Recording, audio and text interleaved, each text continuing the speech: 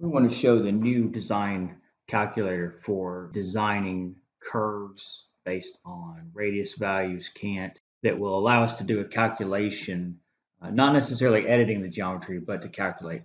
And this is derived from um, the old rail track or InRoads uh, options for defining a curve. Um, so back in the native products, we would go to geometry horizontal curve set, define curve, and then we have this uh, design calculator.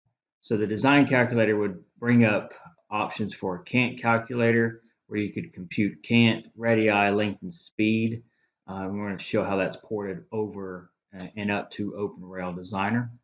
So in OpenRail Designer, we have created the same calculator that will allow us to run and use that for designing and laying out our geometry.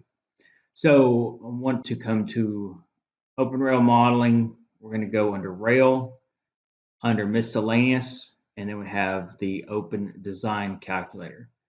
And this curve calculator will mimic the curve calculator that was in the rail track or the old InRoads products.